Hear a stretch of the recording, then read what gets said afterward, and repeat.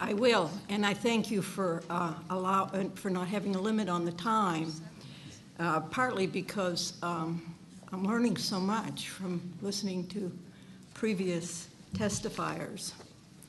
Chairman Parker, Commissioner Mercer, and members of the Board of Environmental Protection, I'm Alice Bolstridge from Presque Isle.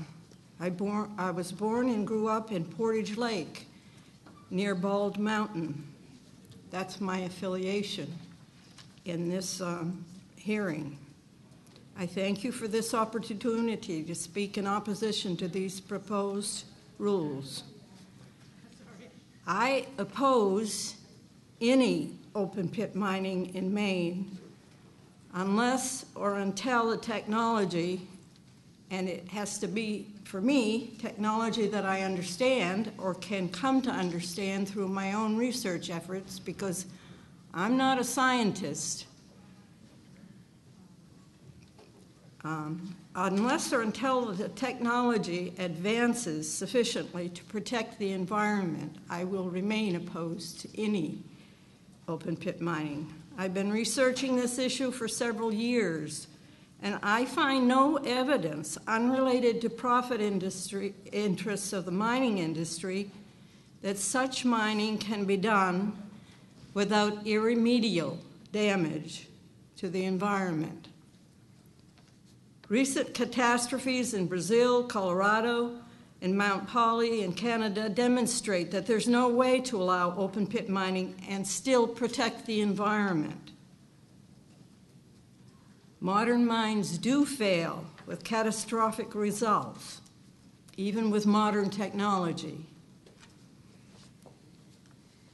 Some features of these rules that I oppose are the following, and I'm awfully grateful for the previous testifiers who could give you uh, the scientific um, support for what I uh, for what I oppose.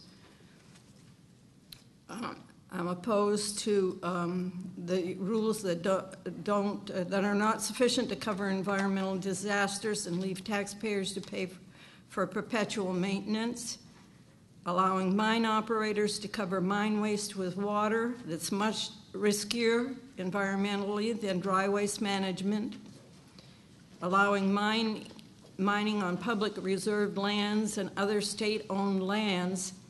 I would really like to be able to offer constructive uh, comments about how you can write rules that will allow mining and still protect the environment but I haven't been able to find any evidence that you can do that.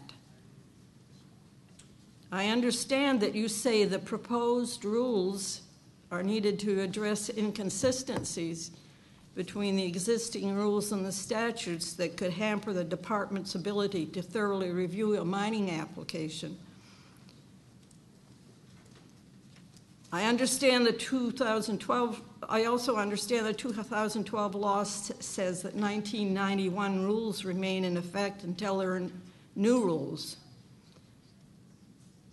And if that is what has been preventing mining up to this point, then I'd rather have them in place than new rules that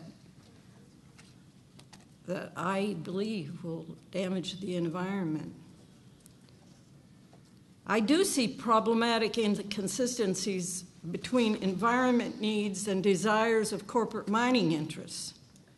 As one Irving advocate put it in a public forum, the protection rules of 1991 make it too onerous for the Canadian corporation to mine Bald Mountain. I'm happy with that. And the DEP purpose to support a sustainable economy stated on Commissioner Mercer's webpage is not compatible with in- inevitable damage from mining. These rules would put at risk Aroostook's sustainable economy of outdoor sports, agriculture, and forestry that are all dependent on clean water. And uh, previous testifiers uh, comments about the human, what, what it does to human beings, just furthers my, uh, deepens my opposition. Far more long term sustainable jobs would be at risk than could be gained by a mine with a temporary life. And I hear comments that people from Aroostook County are in favor of um, the mining rules that would allow mining. I would like to see the evidence that that is true because, from my observation about uh, citizens of Aroostook County, the more they learn about it, the more people become frightened of mining and what it will do to um, lifestyle and to health of the environment and to human health. So I thank you very much for allowing this testimony. Any questions